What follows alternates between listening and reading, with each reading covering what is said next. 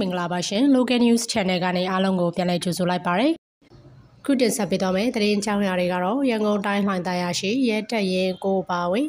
စစ်တပ်တပ်ဆွဲထားရာနေရာ6ခုကိုတပြိုင်နက်ပုံခွဲတိုက်ခိုက်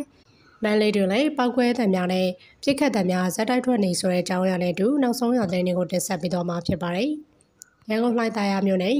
ရဲတပ်ရင်ကိုပါဝင်စစ်တပ်တပ်ဆွဲနေထိုင်ရာနေရာ6ခုကိုတပြိုင်နက်တည်း ဘုံဖောက်ခွဲတိုက်ခိုက်ခဲ့ကြောင်း Anonymous Fighter Force AFF ပြောက်ကြားတပ်ဖွဲ့မှ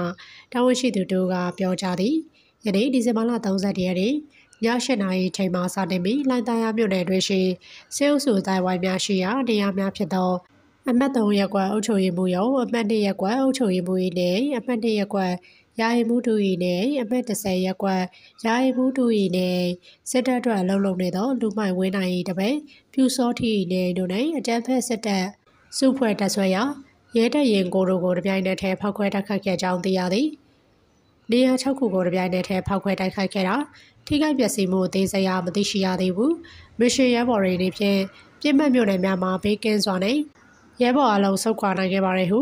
Anonymous Fighters for AFF ပျောက်ကြားတပ်ဖွဲ့မှတာဝန်ရှိသူတို့ကပြောကြားသည်အဆိုပါဖောက်ခွဲတိုက်ခိုက်မှုကို Anonymous Fighters for AFF ရန်ကုန် Urban Force AUF နဲ့ Freeland Attack for AFL တို့မှဘုံများအုံပြု၍ရှောင်းတခင်ဖောက်ခွဲတိုက်ခိုက်ခဲ့ခြင်းဖြစ်ကြောင်းသိရသည်စစ်ကောင်စီခန့်ရဲ့ခြေတိုင်းဝိုင်းများသည်မြို့နယ်အတွင်းလုံမင်းဆိုးသွမ်းနေပြီးအများပြည်သူလူထုအပါအဝင်တော်လိုင်းရဲဘော်များအားနှီးမျိုးစုံဖြင့်ချင်းချောက်ဖမ်းဆီးမှုများလည်းလှုပ်ဆောင်နေသဖြင့်ယခုကဲ့သို့ပြင်းပြင်းထန်ထန် အတိပေးဖောက်ခွဲခဲ့ရခြင်းဖြစ်ကြောင်းမြို့ပြပျောက်ကြားရင်အားစုများနေဖြင့်ရန်ကုန်မြို့ပြအကြမ်းဖက်စစ်ကောင်စီမှလုံးဝအုပ်ချုပ်၍မရစေရန်အစွမ်းကုန်တွန်းလှန်ခုခံနေမည်ဖြစ်ပြီးရန်ကုန်မြို့ပြတွင်အများပြည်သူလူထုနှင့်အတူလျှို့ဝှက်စွာရှိနေမည်ဖြစ်ကြောင်းအတိပေးထားသည်အလားတူမန်လေးမြို့ပေါ်တွင်လည်းရှော့တိုက်တုံးဖြင့်ပြစ်ခတ်တိုက်ခိုက်မှုကြောင့်ပောက်ကွဲသံများထွက်ပေါ်လာကြောင်းမန်လေးဒေသပြည်သူများကပြောဆိုသည်ရွှီဆိုတဲ့အတန်တဲ့အတူပောက်ကွဲတဲ့အတန်တွေကြားရတယ်ရှော့တိုက်တုံးလားမသိဘူး ပောက်ကွဲတဲ့အတန်ကမြေကြီးနဲ့အိမ်အောင်တုံနေပြစ်ခတ်တန်တွေလည်းတောက်လျှောက်ကြားနေရတယ်အတွဲလိုက်ဖြစ်တဲ့အတန်းတွေဟုမန်းလေးပြည်သူတို့ကပြောဆိုသည်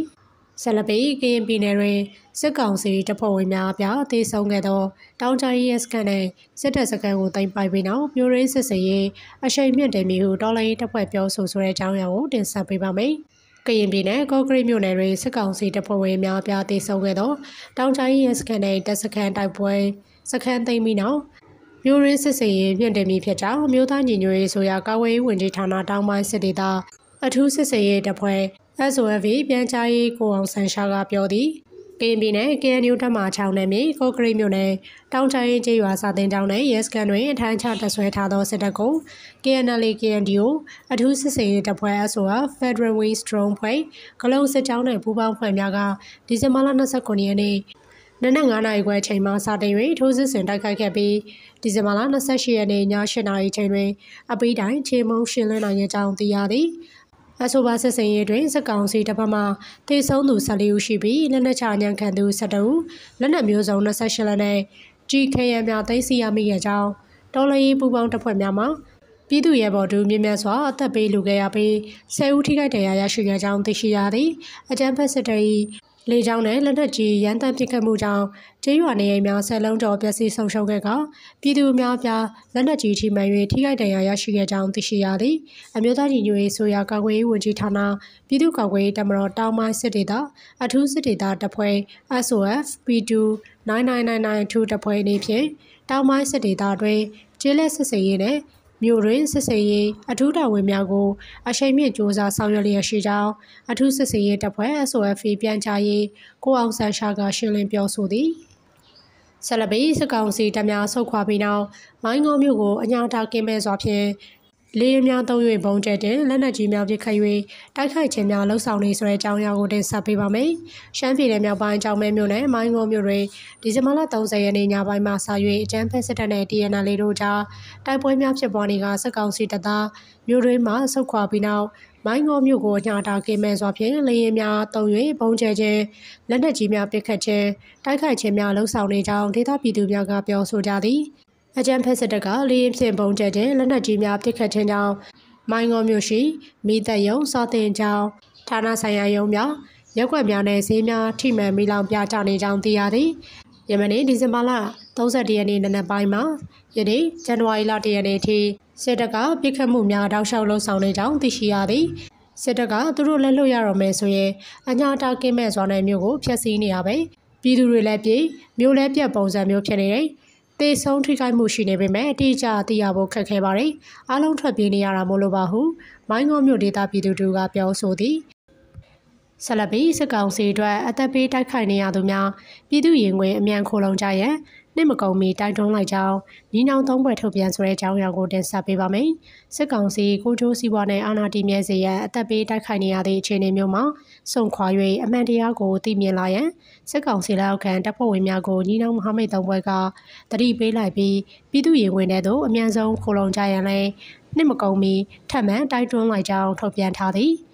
အချိန်တိုအတွင်းမထင်မှတ်ထားသည့်အရှုံးရလဒ်များရင်ဆိုင်တိုက်ခိုက်လာရသည့်စစ်ကောင်စီသည်အရှုံးကိုပြောင်းလက်ခံနိုင်စွမ်းမရှိတဲ့ကဲ့သို့စစ်မြေပြင်တွင်လည်းစစ်ကူများအချိန်မီထောက်ပံ့မပေးနိုင်ခြင်းတို့ကြောင့်စစ်ကောင်စီတပ်ဖွဲ့ဝင်တိုင်းအားလုံးဒီပါအတိပင်ဖြစ်ကြောင်းဖော်ပြသည်2019စစ်စေးရင်65ရက်မြောက်နေ့ဒီဇင်ဘာလ30ရက်စစ်ရေးအခြေအနေများထုတ်ပြန်ရတာထပ်ပါတိုင်းတိုက်တွန်းလိုက်ခြင်းဖြစ်သည်မြန်မာနိုင်ငံ၏ဆရာနာရှင်ဖြုတ်ချရေးသမိုင်းတွင်တကြိမ်တစ်ခါများ မမျှော်မှန်းဘူးသောရန်သူပြစ်မှတ်များကိုတစ်ခုပြီးတစ်ခုအလဲထိုးသိမ့်ပိုက်ရယူနိုင်တော့လဲရန်သူကိုရှော့မတွက်ကြစေရန်လဲတအောင်ကိုကံရခိုင်ညီနောင်သုံးဘက်ကအတိပေးသည်ရန်သူ၏ခေဆက်ဆက်သွေးခွဲမှု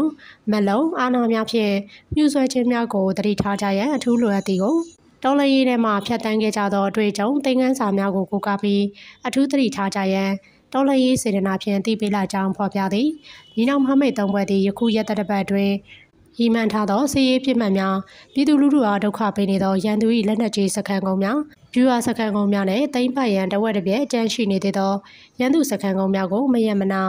ဒရဇက်ဆက်လက်ထိုးစစ်ဆင်တိုက်ခိုက်နေသည်ဟုအသိပေးသည်ထို့ပြင်စစ်စင်ရေးကိုနှောက်ယှက်ပေးပြီးစစ်ရေးရမဖြစ်မနေလုံးဝအရယူမဲ့စခန်းများကိုအပြည့်အဝအလုံးစုံတိမ့်ပတ်ရယူနိုင်ခဲ့ပြီးနောက်၎ င်းစခန်းများရှိရာမြို့တစ်မြို့ကိုလည်းညီနောင်မဟာမိတ်တုံးပွဲလက်အောက်သို့ကြားရောက်ခဲ့ပြီးဖြစ်ကြောင်းဖော်ပြသည်ကိုကန့်ဒေသတွင်တွင်ဒါကာဆာလောက်ကိုင်းမှလွယ်၍ရန်သူစခန်းများမှာမြမဆဆမရှိတော့ပြီးဖြစ်တဲ့ကဲ့သို့တအောင်ဖွဲ့စည်းနေဖြင့်လည်း၎င်းတို့၏စေရီမှန်ချက်နဲ့တူတအောင်ပြည်ရဲ့မှန်ချက်ကိုတဆင်ပြီးတဆင်အကောင့်ထဲဖော်လျက်ရှိကြောင်းထုတ်ပြန်သည်ထို့တူရခိုင်တပ်တော်နေဖြင့်လည်း၎င်းတို့အဖွဲ့မှသတ်မှတ်ထားသောစေရီမှန်ချက်များကိုတဆင်ချင်းတဆင်ချင်းအကောင့်ထဲဖော်လျက်ရှိကြောင်းဖော်ပြသည် ရင်းတို့မှာညီနောင်မဟာမိတ်သုံးပွဲနဲ့2019စစ်စင်ရေးရနှစ်တာရာနဲ့အဓိကစစ်စင်ရေးရည်မှန်းချက်များပင်ဖြစ်ကြောင်းညီနောင်သုံးပွဲနေဖြင့်သတ်မှတ်ထားသောစစ်ရေးရည်မှန်းချက်များကိုအပြည့်အဝရယူရဲမြန်မာပြည်သူလူထုတရက်လုံးလိုလားသောဆန္ဒကိုလည်းတပါးတဲ့ကောင်းထက်ဖို့ဆောင်ရွက်သွားမည်ဖြစ်ကြောင်းသိပေးသည်ညီနောင်သုံးပွဲသည်မြန်မာပြည်သူတရက်လုံး၏ဆန္ဒကိုသွေးဖယ်မည်မဟုတ်ပဲပြည်သူများ၏ဆန္ဒပြေဝအောင်ကြိုးပမ်းဆောင်ရွက်မည်ဟုမကြာခဏအသိပေးထုတ်ပြန်ထားသည် ဆက်လက်ပြီးမိုင်းငေါမြို့တွင်စစ်ကောင်စီတပ်နဲ့ TNL တို့တိုက်ပွဲပြင်းထန်နေပြီးစစ်တပ်ပစ်ခတ်သည့်လက်နက်ကြီးကြောင့်ပြည်သူနေအိမ်များမီးလောင်ပြတာ TNL တပ်များကမြို့ထဲသို့ရောက်ရှိလာပြီးစစ်တပ်ဆုတ်ခွာဆိုတဲ့အကြောင်းအရာကိုတင်ဆက်ပေးပါမယ်။ရှမ်းပြည်နယ်မြောက်ပိုင်းကြောင်မဲမြို့နယ်မိုင်းငေါမြို့တွင်ဒီဇင်ဘာလ30ရက်နေ့မြောက်ပိုင်းမှာဆာရွယ်ကျန်းဖက်စစ်တပ်နဲ့ TNL တို့ကြားတိုက်ပွဲများဖြစ်ပွားနေပြီးအကျန်းဖက်စစ်တပ်ကပစ်ခတ်သည့်လက်နက်ကြီးကြီးများကြားရောက်သဖြင့် မန်တုံရက်ကွက်နဲ့ဈေးရက်ကွက်ရှိနေအိမ်များထိမှန်မီးလောင်ပြကြသောကြောင့်ဒေသပြည်သူများထံမှသိရသည်ယနေ့ဒီဇင်ဘာလ31ရက်နေ့နနက်ပိုင်းထိတိုက်ပွဲများဆက်လက်ဖြစ်ပွားနေဆဲဖြစ်ပြီးလက်ရှိချိန်တွင် TNL တပ်များမြို့ထဲဝင်ရောက်လာပြီးဖြစ်ကြောင်းဒေသပြည်သူများကပြောကြားသည်တိုက်ပွဲပြင်းနေပြီးမိုင်းကောမှာအခုမနက်လဲတိုက်ပွဲပြင်းထန်နေတော့မယ် TNL တပ်တွေမြို့ထဲရောက်လာပါပြီမြို့ထဲမှာလည်းထိတဲ့အိမ်တွေထိကုန်ပြီဈေးရက်ကွက်ထဲကအိမ်တလုံးရဲ့မန်းလုံးရက်ကွက်ကအိမ်တချို့ရဲ့ထိတာ ဈေးရက်ွက်ထဲကမီးလောင်ပြကြကုန်ပြီးအဲ့ဒီနာဓာတ်စီဆိုင်ရှိတာဓာတ်စီဆိုင်ပါပြကြကုန်ပြီဟုဒေသပြည်သူတို့ကပြောဆိုသည်ပြည်သူများမှာထွက်ပြေးတိမ်းရှောင်နေကြရပြီးမြို့ပြင်ထွက်အိတ်ကြကပြည်သူချို့သာအိမ်ဆောင်၍နေနေကြကြောင်းသိရသည်လက်တလောမိုင်းငုံမြို့တွင် TNL တပ်များမြို့ထဲသို့ဝင်ရောက်နေရယူလာတဲ့တွင်စစ်တပ်ကမြို့ထဲနေရာများဆုတ်ခွာသွားကြောင်းဒေသပြည်သူများ၏ဆိုရသိရှိရသည်အာပိနာစင်မှုအတွက်ကျေးဇူးတင်ပါတယ်ရှင်